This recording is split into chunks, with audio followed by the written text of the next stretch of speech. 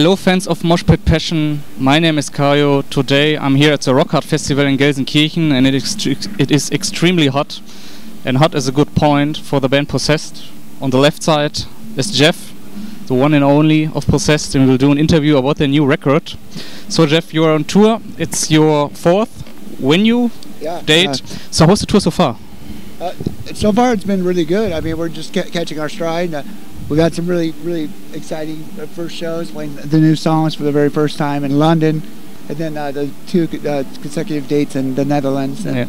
So this this will be hopefully we'll hit our stride and hit our peak momentum on this one. So we're looking forward to it. Nice. A couple weeks ago, your new record came out, and I saw everybody on Facebook and the metal groups.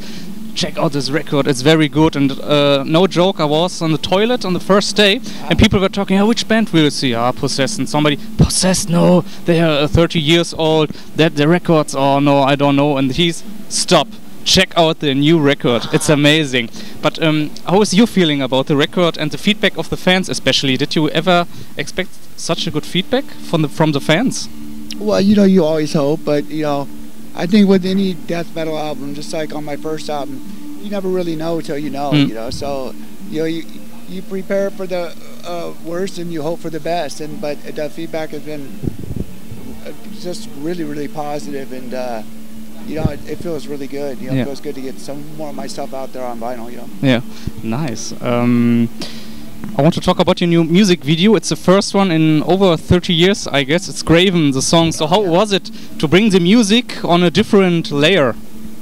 Well, it was exciting. I mean, I was blessed and lucky to have my good friend, my very dear friend Peter Stormare, Mm. uh, uh, on there, and uh, he came to work, and he's you know he's always fun, and, and, and it's just it was exciting. We went out to Hollywood and we shot you know at a film studio, and Mhm. it was really cool. And then we we we did the principal in, in Hollywood, and we did the uh, the the with all the actors out in uh, Georgia. Mm.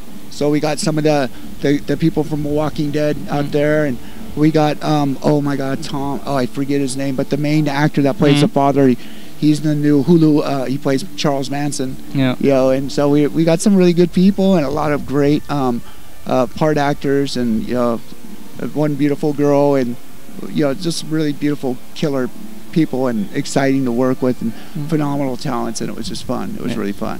Could you maybe imagine to do a whole film and which is using your music like like a horror slasher movie or something like that? I would love to do that. Well, you know, uh, we'll see what where publishing wants to go with that, and Mhm. uh, you know, there's people out scouting that now, and Yeah. uh, we're, we're looking forward to many, many exciting things. So. Yeah.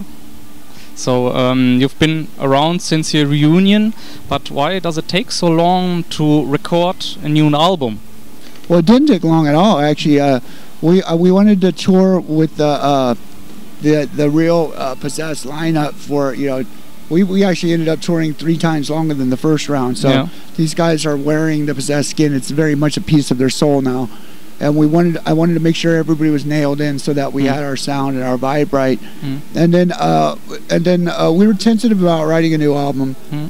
and uh, you know because you know Seven Churches, without trying to flatter myself, was kind of an iconic culty album, and so to follow that up, we I, I really wanted to take my time and do that right. Yeah. So we we tried out by just having a couple of singles and trying them out and touring them around. That seemed to fly really well, Mm. you know, and so uh, then we did a demo. We essentially recorded the the, the, the album Mm. uh, on demo format, and uh, we shopped it around, and Mhm. we immediately got several offers, and the the best of which being a Nuclear Blast, of course. And uh, so really, the lion's share of the uh, writing was done when we got signed. It was just a matter of uh, spending the time in a uh, in Yeah. the studio and doing it. So Cool. well, it wasn't that long though. Yeah. It was pretty quick. It's interesting. Um, when it comes to the whole lineup changes over the years, uh, maybe you can introduce us the new guys who's doing what, and where did you meet them? Well, I mean, I've been with Emilio since 2006, Mm. and that's when I, I started out with the, the band Sadistic Intent backing me, and uh, we split amicably, but the drummer was too good to let go, so Mhm. I, I nabbed him up, and then we started our uh, essentially started our core search for for the, the, the new possessed, the real possessed, and, and uh, we uh, were lucky enough to. to get um, Daniel Gonzalez is just phenomenal talent, phenomenal. and uh, he, he was essentially this kid sitting in his room that was, you know, I know he won't say this, but he was in some other band I had never heard of, and other than that, you know, I met him through his girlfriend on Facebook. Yeah. And she was like, uh, "Try out my uh, boyfriend." I was like, "Ah, yeah, I heard this before." And uh, then he came down. He had uh, like 18 songs perfectly down. And from the very first note he hit, Daniel was the best guitarist I've ever played Yeah. with. And so we were lucky. Then uh, we nabbed up uh, Robert Cardenas as a bass player, Oh. who was kind of hanging around the fringes. We had uh, we had Tony Campos from uh, Static Six. X and Soulfly, Mm. and uh, he went out with Soulfly, so we needed a, a, a strong bass player Mm. and Bobby fit the mark perfectly, and uh, you know I got really lucky. I kind of stumbled into that one, and that was kind of through persistence Yeah. uh, of him hanging around us. No. And then uh, and then uh, with Claudeous Creamer, what I did was um, we went through a couple lineup changes Yeah. there. You know, people like Mike Pardi, he wanted to spend more time with his young daughter, which is understandable.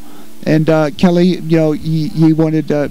He had some private stuff that he had to Mhm. deal with, and, and he's in the I Am Morbid now, which Yeah. worked out really good for him. Ah. So then we, uh, I put out a, a social media call to like, uh, like than thirty thousand people on social media. I said, "Who's the best guitarist you Mm. know that would fit Possessed?" And over hundred people said Claudeous Creamer. And so cool. I guess I'd met him back in the '80s, but I don't remember. Yeah. And he came out and just nailed it, nailed Yeah. the auditions, and we were set. You That's know? red, man. yeah. Um, explain us a little bit. How was it in the rehearsal studio when it comes to developing the new songs? Are you a band who's rehearsing and trying to figure out several several things, or is it like you're using modern technology, sending stuff via email, the demos, etc., and working then on tour? Or Well, well, the, well, with the songs I wrote, um, uh, you know, I, wrote probably half the music and, and all the lyrics. But what I would do is I would essentially take my guitar and play it through the audio mic of my laptop, and I put together a package of seven to twelve, Mm. you know, core riffs. yeah. Then I'd email them to Dan. Dan would uh, slap them with a drum machine on Pro Tools and do this rhythms and solos. Yeah. And then he would uh, email them to Bobby, who would slap on his bass with the software. Then to Claudeous. Mm. And uh, oh, before that, you'd go to Emilios. We'd mic up the drums, replace the electronic drums. Yeah. Then uh, send it to Claudeous to do his solos. And then lastly, we go to my basement, set up an audio mic and a windscreen, and I just yell down in my basement. Mhm. So that's how we set up. Uh, then we use those dem- demonstrative tracks Mm. as uh, the the foundational components of the album. Mm. So we essentially re-record over those as scratch the Mhm. rhythm and and uh, you know re-record the drum. We just replace them piece by piece, and we actually use some of the um, triggers to, to, to vocals and you know the double vocals. So so the demo actually became integral into the album. So, Yeah. Um, I want to talk about the songs because what I really like is you're using metaphors for your topics, like the devil, hell, evil, and I want to talk about three songs. The first is the first single. There's a new, sorry, it was is um, No more room in hell. no room in hell. Yeah, No more room in hell. Yeah. no more room in hell. And can you explain us what's the meaning behind? Well, you know, I've always been a fan of horror movies, Mm. and uh, it's from the '78 Dawn of the Dead when he said, "When there's no more room in hell." Yeah. You know, and I thought like, well, that's really great. You know, it's like, a, but and uh, you know, uh, and I've always, you know, like, I don't want to get too heavy because it could be a light song, it could be heavy wherever you want to take it. Mm. But you know, as you know, according to the Bible, you know, Satan's walking to and fro on the earth, and he's never actually been to hell. Yeah. And so I kind of like just kind of ran with that in a kind of a devilish way and kind of made it, you know, Mm. heavy and fun. And, you know, it, that, was kind of our, Yeah.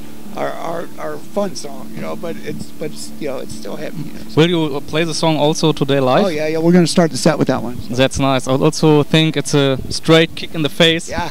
And also, it was your comeback track for the new record. Everybody was freaking out on the internet. yeah. And also on your uh, new single, Korean single, Graven. Yeah. And it's interesting uh, to read the lyrics, but also what is the meaning behind?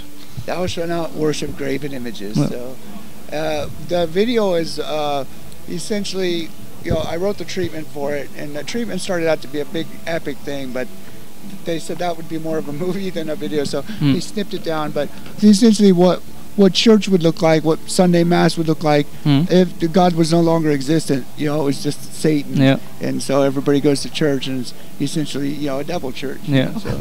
Nice. And the last song, it's Demon.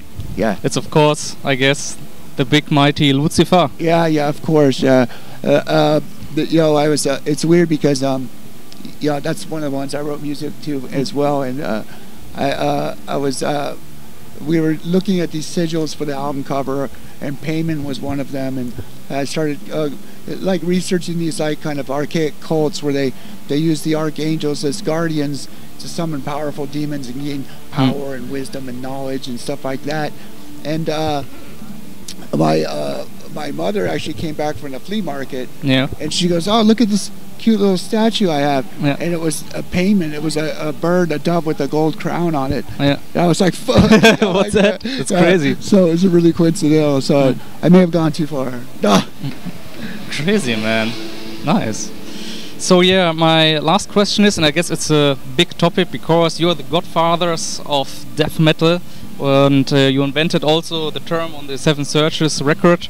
And from your point of view, over the years, um, does it make you proud to see like the Florida death metal scene and the European death metal scene? So when you were not so active and you see this from the um, different points, so how, did you feel?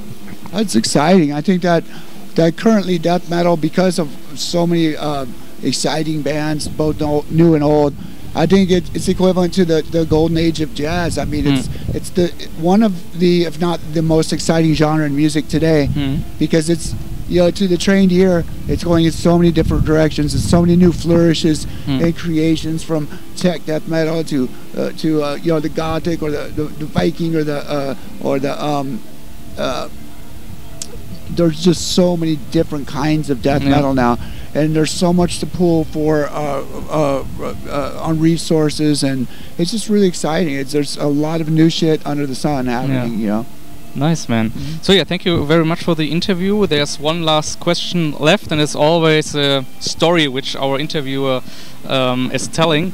And our magazine is called Moshpit Passion. Okay. And do you have a moshpit um, story to tell where you were on stage and see the crowd is completely going wild, and but something you see something like somebody I don't know the show was completely over and somebody left his uh, pants or something like that, or Ah. somebody was flying around, something something like that. Well, we used to have a roadie and a really dear friend of ours uh, named Toby Rage, Yeah. and uh, we were playing with Exodus one time, and Toby was known for diving off the highest parts of, uh, like he went off the speaker stacks at Iron Maiden and did a Yeah. triple flip, and that was like, you know, like like almost as high as this bridge. You know what I mean? Yeah. It, it just crushed people. But Toby was extremely rare and crazy, always breaking bones. But when uh, when uh, Exodus was playing, Toby literally ran through the fucking mosh pit with two meat hooks. Hmm. And it was like everybody was scattered. He was like "Ah," just flying around and doing crazy things, and it was fun. Yeah, Damn, man, that's that was crazy. back at Ruthie's Inn. Yeah, So yeah, um, thank you very much for your Thank you. time for the interview. Wish you all the best for all the guys out there. Check the new record of Possess is very good. Check also out uh, Moshpit Passion. Follow us on YouTube, Facebook. Follow also Possessed. Thank you very much for watching. See you next time. Bye. Moshpit Passion. Freunde, ich hoffe, euch hat das Interview gefallen. Damit ihr keine Videos verpasst, abonniert unseren Channel. Auf unserem Kanal findet ihr noch weitere interessante Interviews mit namhaften Bands. Schaut euch auch auf unserer Facebook-Seite herum, wo wir exklusiven Content wie interessante Beiträge, Konzertfotos oder Videos uploaden. Auf unserer Webseite www.moshpitpassion.de findet ihr CD-Reviews, Konzertfotos, Konzertberichte, Interviews und viele, vieles mehr.